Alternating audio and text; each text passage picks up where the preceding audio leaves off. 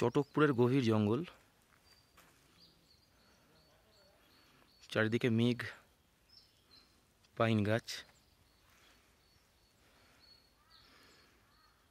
এই পথে গেলে একটা সুন্দর লেক আছে, খুব ছোট লেক, কিন্তু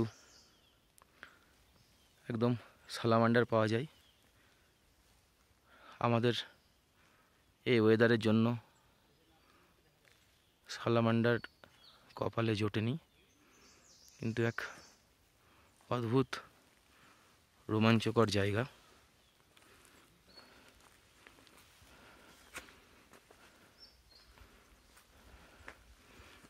বিদেশের যে কোনো লোকেশানকে হার বানাবে জায়গা।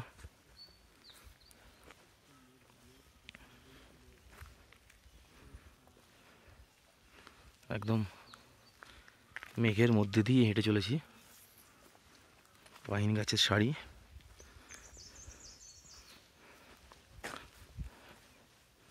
প্রচুর পাখি চারিদিকে, কিন্তু ওয়েদারটি এরকম হওয়ার জন্য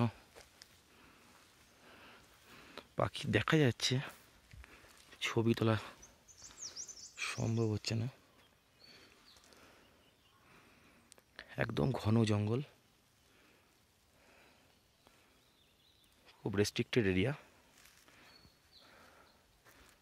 দার্জিলিংয়ের বিখ্যাত রেড পান্ডার আখড়া বলা হয় জায়গাটাকে।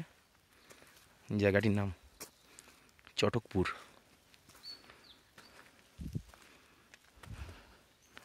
প্রায় সাত হাজার আটশো মিটার উপরে।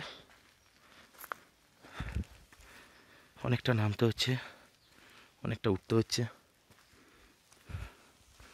ব্রিদিং প্রবলেম খুব একটা না হলেও ফগি ওয়েদার হওয়ার জন্য বেশ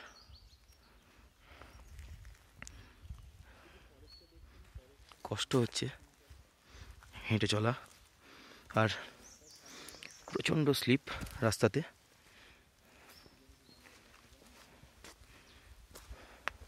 ছোট ছোট ভালুক আর চিতা, চিতার চিতার পায়ের ছাপ অনেক জায়গায় দেখতে পেলাম। এখানকার লোকাল লোকেদের সাহায্য নিয়ে দেখলাম। তবে আপাতত কেউ নেই। আমরা পাঁচ বন্ধু পথ ধরে এগিয়ে চলেছি। খুব রোমাঞ্চকর অভিজ্ঞতা।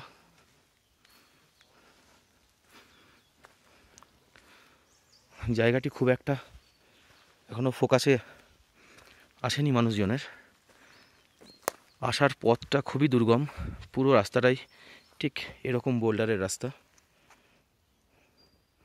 আমরা বাইকে করে এসেছি।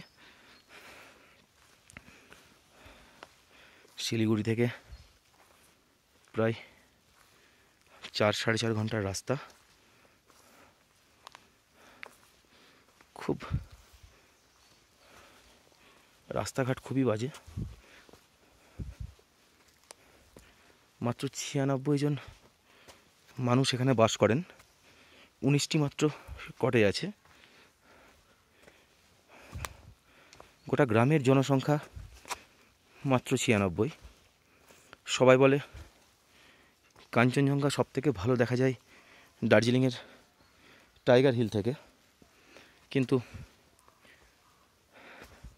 যারা ওই ভিড়ের মধ্যে টাইগার হিল থেকে দেখা খুব একটা পছন্দ করেন না, তাদের জন্য কাঞ্চনজঙ্ঘা দেখার আদর্শ জায়গা হলো চটকপুর। ওপরে একটি ভিউ পয়েন্ট আছে three sixty degree view point. View point থেকে কাঞ্চনজঙ্ঘা পরিষ্কার দেখা যায়।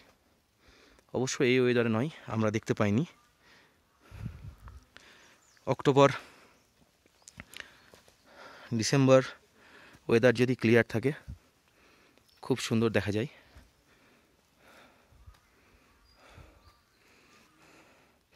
জায়গাটি এখন অবধি খুব একটি ফোকাসে আসেনি। তার প্রথম এবং প্রধান কারণ হলো প্রচণ্ড বাজে রাস্তা। পুরো বোল্ডারে দিয়ে রাস্তা তৈরি।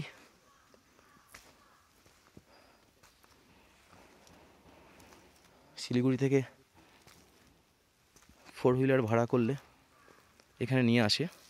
কিন্তু ধার রিজার্ভ করতে হয় এবং ভাড়াটাই, ভাড়াটাও খুব বেশি।